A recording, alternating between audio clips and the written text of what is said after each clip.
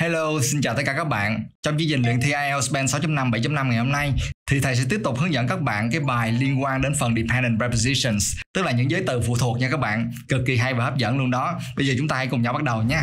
Bây giờ thầy xin nhắc lại một chút xíu nhé, để bạn nào mà chưa xem video lần trước thì các bạn cũng nắm được ha. Thì cái bài này là về vocabulary, có nghĩa là từ vựng và đặc biệt là về phần dependent prepositions, có nghĩa là những giới từ phụ thuộc nha các bạn. Trong bài hôm trước thì thầy đã hướng dẫn các bạn hai bài tập đầu tiên rồi ha. Bài 1 nè, người ta yêu cầu các bạn là hãy điền những giới từ phù hợp vào trong những cái chỗ trống ở đây. Đó các bạn thấy không? Và thầy cũng đã đưa đáp án cho các bạn rồi. Còn bài tập số 2 là bài này nha các bạn. Ở đây các bạn thấy nè, trong mỗi câu đây thì người ta sẽ cho các bạn hai cái giới từ in nghiêng. Thì nhiệm vụ của các bạn là hãy chọn ra cái giới từ phù hợp nhất ha. Đó là nội dung của video lần trước ha. Rồi bây giờ chúng ta hãy cùng nhau tiến vào bài tập số 3 nha các bạn. Rồi, bây giờ các bạn hãy cùng nhìn với thầy vào bài tập số 3 nha. IELTS candidates hoặc là IELTS candidates. Cái từ này mình đọc là candidates hoặc là candidates đều được nha các bạn. IELTS candidates often make mistakes with prepositions after adjectives and verbs. Find and correct the mistakes in these sentences by changing or adding a preposition. Những thí sinh IELTS, tức là những người đi thi IELTS đó, thường mắc những cái lỗi với giới từ mà đi sau những cái tính từ và động từ. Hãy tìm và sửa những cái lỗi ở trong những cái câu này bằng cách thay đổi hoặc là thêm một cái giới từ nữa các bạn? Rồi bây giờ chúng ta hãy cùng nhìn vào câu đầu tiên nè. Đây là câu example. Ví dụ nha các bạn. One to be a leader you have to compete your colleagues có nghĩa là gì? Để trở thành một nhà lãnh đạo, bạn phải compete, có nghĩa là cạnh tranh. Thì ở đây người ta thiếu một cái giới từ là with hoặc là against nha các bạn. Tức là cạnh tranh với những cái đồng nghiệp của bạn, được không? Thì cái câu này bị sai là do nó thiếu cái giới từ. Thì ở đây nè, các bạn thấy người ta đánh ký hiệu là bị thiếu nè, và người ta điền đáp án là with hoặc là against nha các bạn. Đó cụm từ compete with hoặc là compete against, có nghĩa là cạnh tranh với hay là đấu đá với nha các bạn. Đó, thì tương tự như vậy các bạn hãy làm cho thầy những câu từ số 2 cho đến số 7 nha các bạn. Bây giờ các bạn hãy dành thời gian để làm đi nhé sau khi mà các bạn làm xong, thì thầy sẽ sửa bài cho các bạn nha. Rồi, chắc là các bạn đã làm xong hết rồi đúng không? Bây giờ thầy sẽ sửa bài cho các bạn nha. Rồi, các bạn nhìn vào câu số 2 nè. Người ta nói sao đây? Youngsters today are better prepared. Ở đây cái từ with là nó bị sai nha các bạn. Cho nên chúng ta sẽ thay cái từ with bằng for, Được các bạn? Are better prepared for working life.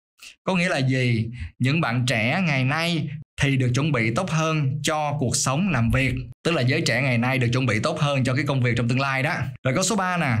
It is sometimes hard to get involved. Ở đây mình không có xài giới từ into mà mình phải thay bằng giới từ in nha các bạn. To get involved in your studies. Thỉnh thoảng thật là khó để mà get involved in. Nguyên cái cụm từ get involved in, thông thường nó có nghĩa là tham gia vào hay liên quan đến cái gì đó nha các bạn. Nhưng mà ở đây nếu mà mình dịch là thỉnh thoảng thật là khó để mà tham gia vào cái việc nghiên cứu hay là cái việc học của bạn thì nghe nó không có phù hợp lắm mà ở đây cái nghĩa phù hợp nhất chính là interested, có nghĩa là thích thú hay là giống như là say mê hay là mãi mê nha các bạn.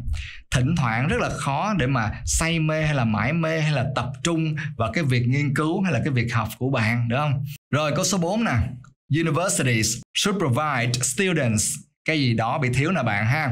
Thì ở đây chúng ta phải điền là with nha các bạn. Provide with đúng không? Tức là cung cấp cho ai đó cái gì đúng không? The facilities they need.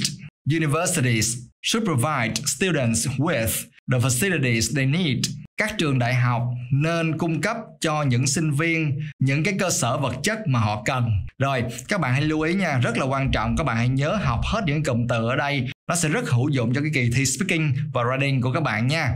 Trong kỳ thi speaking và writing của IELTS, thay vì các bạn chỉ dùng những cái từ hay những cái câu mà đơn lẻ, nghe nó rời rạc, nó không hay, thì các bạn sẽ được điểm rất là thấp nhưng mà nếu như các bạn biết cách vận dụng những cái cụm từ ở đây đi đúng nguyên với cụm từ đi đúng giới từ nó pro thì là pro thì các bạn sẽ được điểm rất là cao nha các bạn rồi tiếp tục ha, câu số 5 nè. Ở đây bạn thấy giới từ to không có đi với responsible nha các bạn. Responsible for tức là chịu trách nhiệm cho cái việc gì đó hay là cho ai đó được các bạn. Mình sẽ dùng giới từ for thì mới đúng nha các bạn. Managers have to be responsible for the staff below them. Những người quản lý phải chịu trách nhiệm cho những nhân viên dưới quyền của họ. Rồi câu số 6 nè. Ở đây cái cụm từ pay attention thì phải đi với to nha các bạn, chứ không có đi với on đâu các bạn. Có nghĩa là tập trung hay là chú ý vào cái việc gì đó, được không?